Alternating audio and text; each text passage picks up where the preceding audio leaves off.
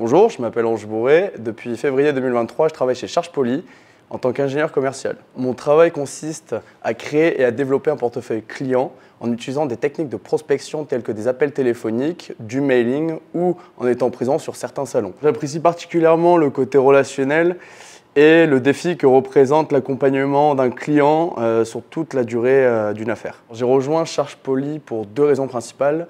La première, il faut savoir que Charge Poly est une ingénierie internationale et qu'il y aura des perspectives de mobilité intéressantes. La deuxième raison, c'est que je viens du milieu du transport et que le produit, euh, à mes yeux, est extrêmement pertinent pour tout ce qui est secteur du transport et de la logistique.